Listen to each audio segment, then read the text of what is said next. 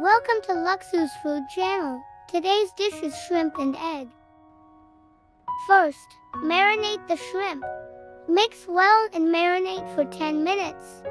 Add 10 grams starch and 40 grams water. Mix evenly. Crack 3 eggs.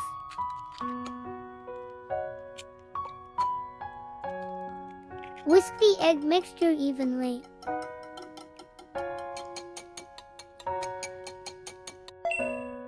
Pour oil into the hot pan. Fried shrimp.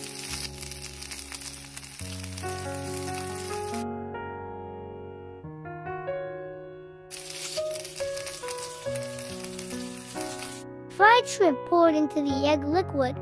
Pour it back into the pot. Medium to low heat. Gently stir the egg mixture. Wait until the surface of the egg is solidified.